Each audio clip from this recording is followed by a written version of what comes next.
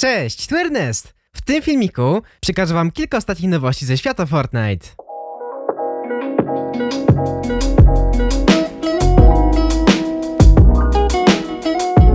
Dzisiaj o 10 rozpocznie się przerwa techniczna, która wprowadzi w życie aktualizację 8.01. Na pewno dodano do gry nowy przedmiot. Zakopany skarb, o którym mieliśmy już okazję porozmawiać. Będzie to nowy przedmiot w postaci mapy, po której zdobyciu na mapie ujawni nam się lokacja ukrytego skarbu z czymś cennym. Czym jeszcze? Tego nie wiemy.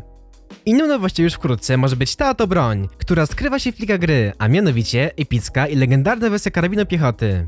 Nie ma jeszcze jednak dla niej żadnych dźwięków, co sprawia, że raczej pojawi się na kiedy indziej niż dzisiaj. To jednak nie jedyna nowość dotycząca do Fortnite. Samsung na swoim Twitterze ogłosiło, że 7 marca promocja skina Galaxy zostaje oficjalnie przeniesiona do skarbca, co oznacza, że po 7 marca, lub nawet już 7 marca, nie będzie możliwości odebrania tego skina. Ale ci, co już mają tego skina, nie mają się o co martwić, nasz skin nie zniknie nam z szafek. A więc bierzcie póki można, bo potem ten skin może już nie wrócić.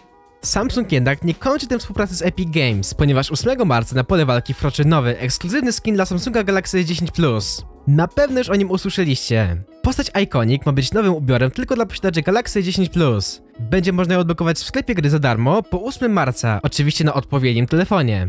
Ninja, bardzo popularny streamer, dostał okazję na przetestowanie tego skina w grze i emotki przygotowanej dla tej postaci przedwcześnie. Urywek z gameplayu tą postacią widzicie teraz w tle. Od samego Ninja dowiedzieliśmy się też, że 16 marca w Nowym Jorku odbędzie się wydarzenie z K-popową grupą muzyczną Icon, z którą powiązana jest postać Iconic. Ma tam się odbyć m.in. mecz na specjalnej wyspie przygotowanej przez Epic Games na ten event. Udział w nim weźmie m.in. Ninja oraz członkowie Icon. Może nawet doczekamy się koncertu, tak jak to było z Marshmallow.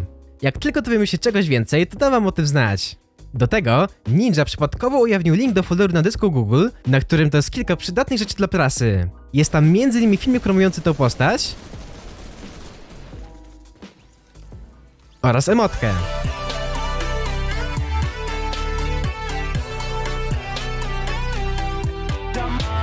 oraz oficjalny zwiastun do tej postaci przygotowany dla Samsunga. Zostawię was z nim na koniec tego filmiku. Jednak zanim to zrobię, chciałem poruszyć temat możliwości wejścia skina Galaxy do sklepu.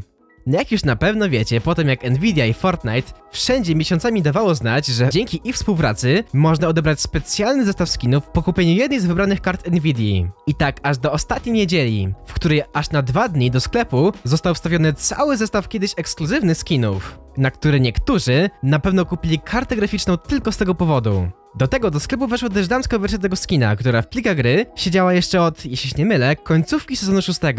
To oburzyło wielu graczy oraz poważnie naruszyło znaczenie słowa ekskluzywny, którym tak często rzucało Epic Games oraz Nvidia w przypadku tego zestawu skinów. W różnych tweetach, czy stronach z ich kartami graficznymi, czy komputerami z ich kartami graficznymi. Ale na stronie poświęconej tej promocji Nvidia nigdzie nie jest chyba napisane, że to jest ekskluzywny pakiet skinów, a jedynie dodatkowy pakiet dla osób, które kupiły jedną z tych kart co może oznaczać, że już od początku tej promocji w planach było wypuszczenie tego całego zestawu wraz z damską wersją do sklepu po wyczerpaniu zapasów.